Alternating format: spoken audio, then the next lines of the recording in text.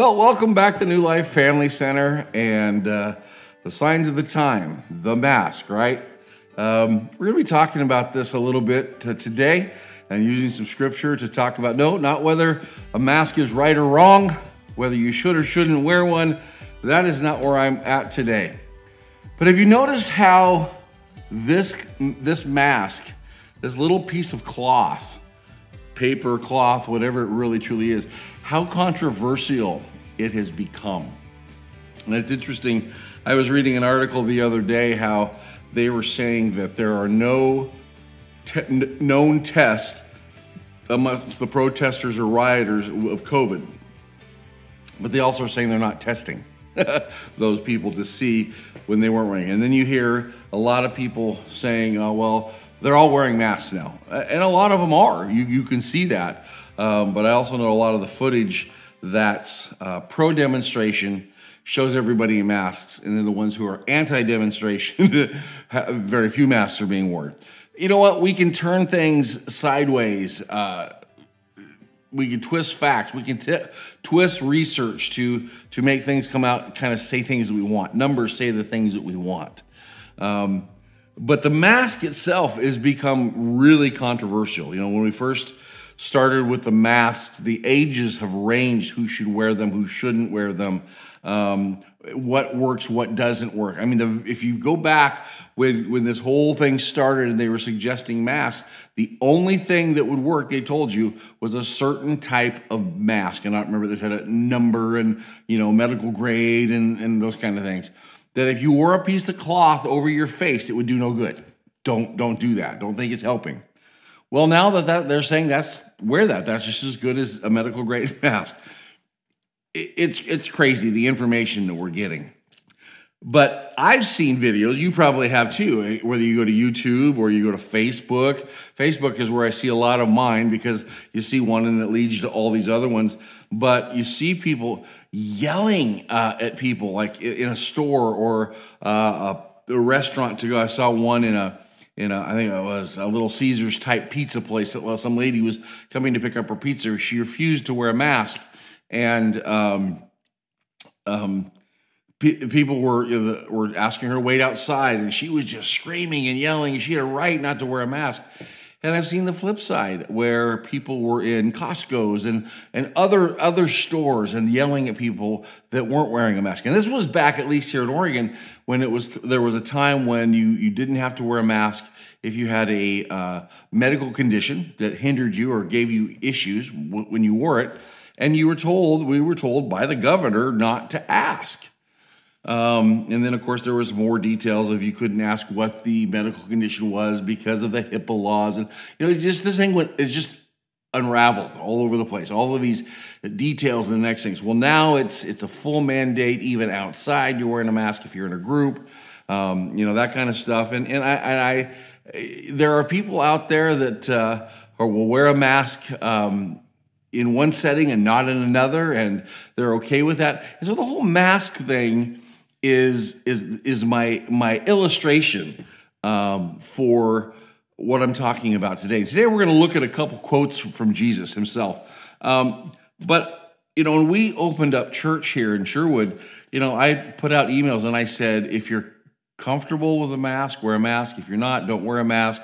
If you're not coming to comfortable coming to church at all, that's okay too. We're, you're still part of the church family, and. Uh, we want people to to you know walk in in the way with this health crisis that they're most comfortable. And there's some people, some of you are watching this morning or sometime throughout the week, you're watching this video and we haven't seen you physically back at church yet. We miss you. We look forward to the time when this thing clears up. And I'm not sure what that's going to take till we all feel comfortable, right?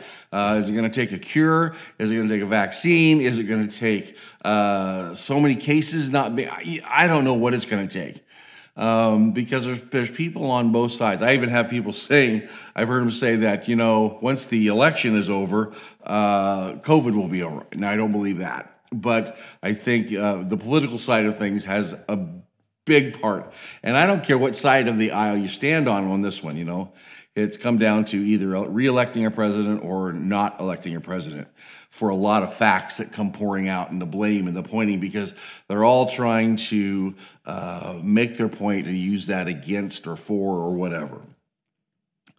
But we talk about this, it's been very interesting to me how we have just, as a, as a nation, have fallen apart. Uh, the videos that I'm talking about over a piece of cloth. Um, and it's funny that, you know, at church, especially, I don't wear one because I'm usually singing, I'm usually preaching, I'm doing some things like that. Um, but, you know, go into a store where they're required. And, and I'll be honest, I don't like them. Um, and so I don't go into a lot of stores a lot. I've done it. Um, you know, Saturday, Terry and I ran out of stores. Wear it into a restaurant. If we're going to go inside, until you to your table, you take it off.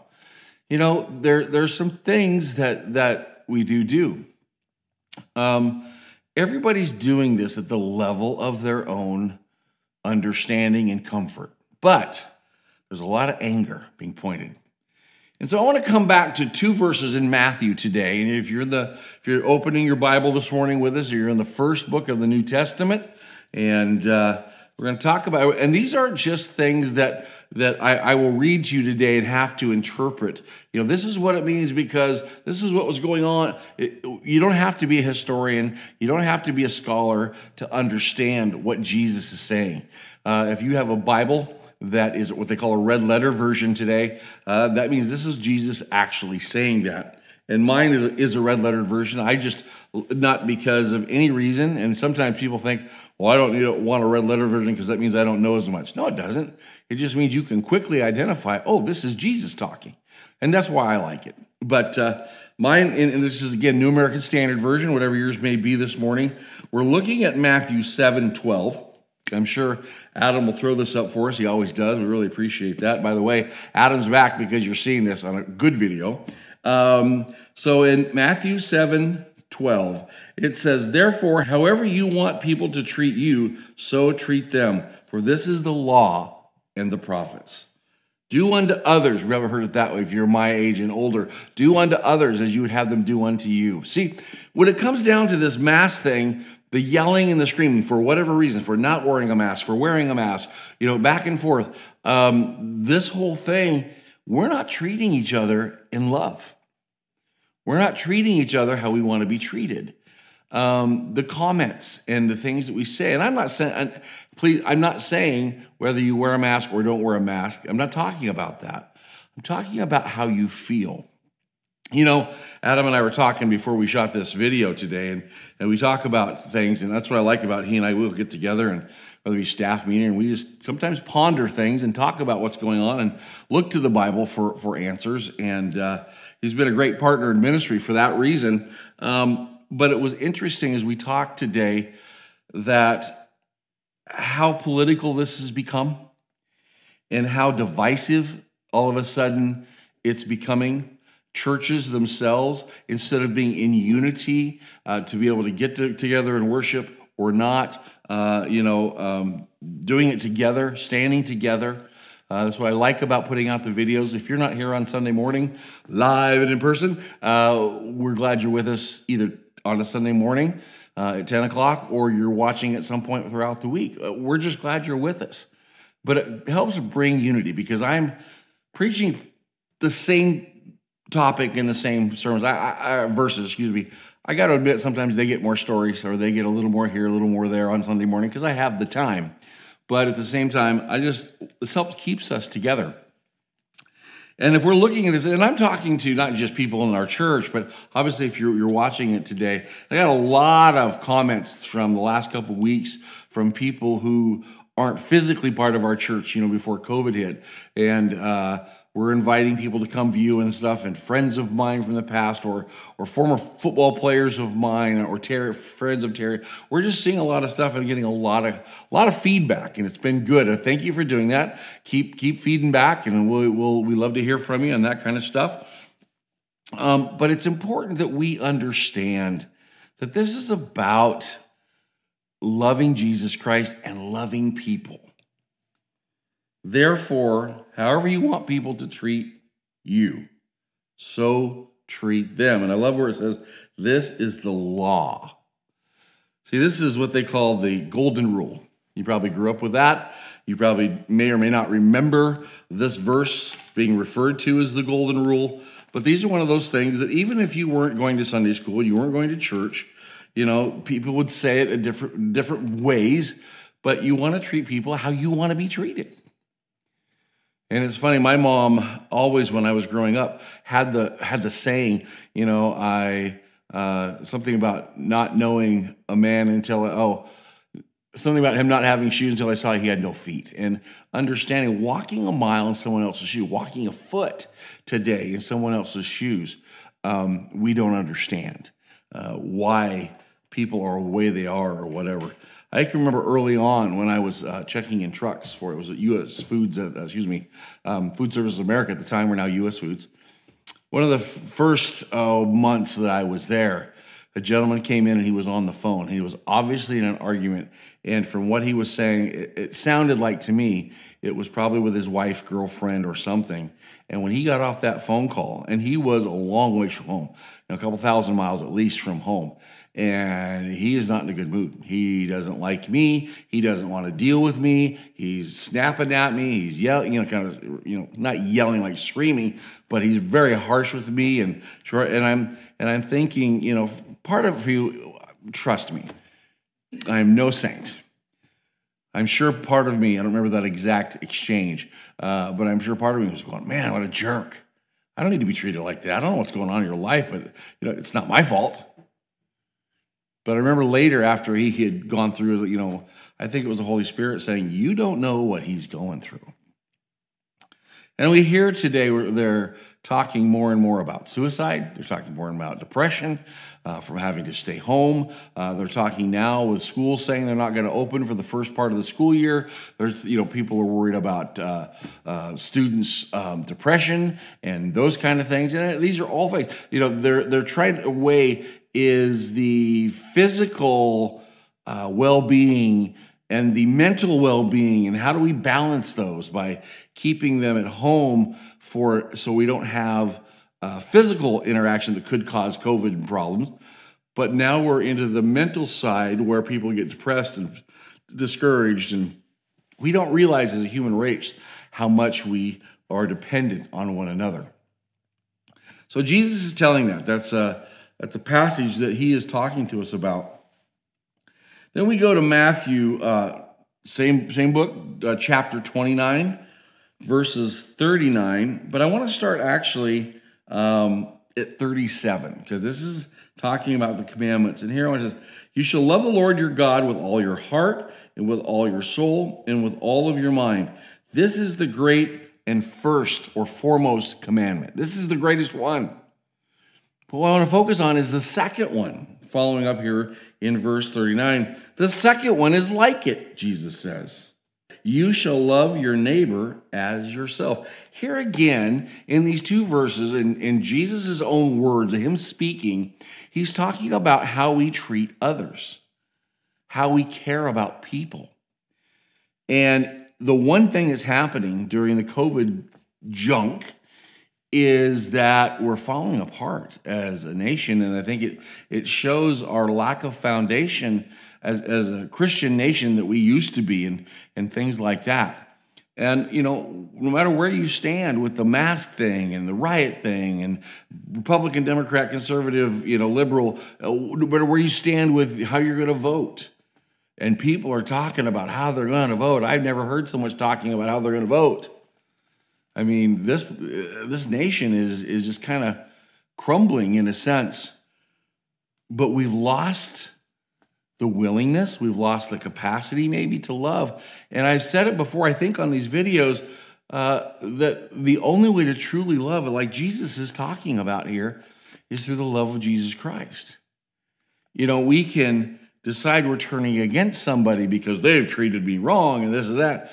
Oh my goodness not that you don't have a right to do that or feel that way, you know, but the love of Christ tells us to forgive, tells us to turn the other cheek, to tell, you know, those kind of look at the look at your neighbor, love him as you love yourself. Meaning that we probably really like or love ourselves, not that we're narcissistic or we, you know, look in the mirror and go, oh wow, this is wonderful, right?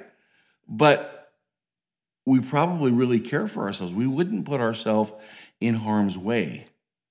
Even if you're the adventurous type, you, you probably wouldn't go skydiving if you really believed that chute wasn't going to open. We've got to care for one another. So, as Christians, you know, and, and you've seen this in the last few weeks, we go back and forth. We talk about ourselves. We talk about, um, you know, keeping our relationship with God right.